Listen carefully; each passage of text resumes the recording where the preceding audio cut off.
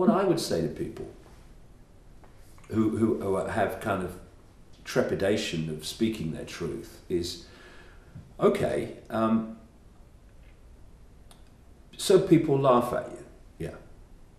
Why do, why do they laugh at you? Because they don't respect my right to have a different view from them. Absolutely. So why are you worried what people like that think of you? what, what's it matter? And the other thing is that, as I know this from long experience, they'll be thinking something else tomorrow. Um, and so many people now are coming to my information because of what I've said before that is now playing out in, in, in, in the daily world. Now, if I had have let the fear of ridicule shut me up all those years ago, I'd have never have written those books. I'd have never have said those things. And then people would not be able to say now, hey, hold on a did that bloke say this was going to happen? Um, and the, there's a, the thing I, um, a, a phrase I, I, I say to people a lot is that you can't unhear something.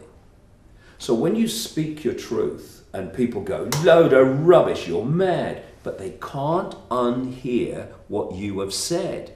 And if what you have said has any validity, it will eventually be shown to be so by things playing out as you said they will.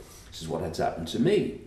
Uh, but unless you speak your truth and accept that, you know, people are going to dismiss it and ridicule it, though not so much now because it's playing out in the television news, um, then they're going to have nothing to hear that they can't later not on here, and therefore see that the, the two go together and what was said is actually what's happening. So I have to look at this a bit more seriously now. Um, it, it's, it's so important that we speak our truth. And you know, if our family don't like it, well, hold on a second. Why do you have a problem with my speaking my truth, even though it's different to yours? I mean, why don't you respect my right to be what I am? Same with other people. And, you know, we, we think all the time that we're, when we say something about someone, we are making a statement about them.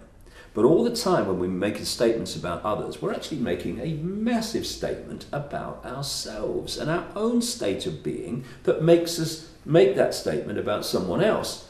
And so those people that just laugh and ridicule and don't respect someone else's right to be different, well, they're just making a statement about themselves, not the person that they're targeting. It's, um, it's very important that we don't concede to uh, the fear of what other people think of us. Because if we do, and the vast majority of people in the world do, we are no longer from that moment on living our own lives. We're not living our own truth. We're not living our own uh, genuineness. We're living someone else's version of what we should be. Now, if you want to be that, that's fair enough. I respect that. It's your choice. Just don't tell me how I'm going to live my life and what I'm going to think and what I'm going to say. Um, I, because uh, you've crossed my line when you do that. Um, and it's this fear of what other people think that makes people conform to very narrow uh, boxes which they don't even believe in, but they stay in them so that they, they are within uh, they are accepted by people around them. If people around me can't accept me because I'm different, well, I, I don't want them around me. Thank you very much. Bye.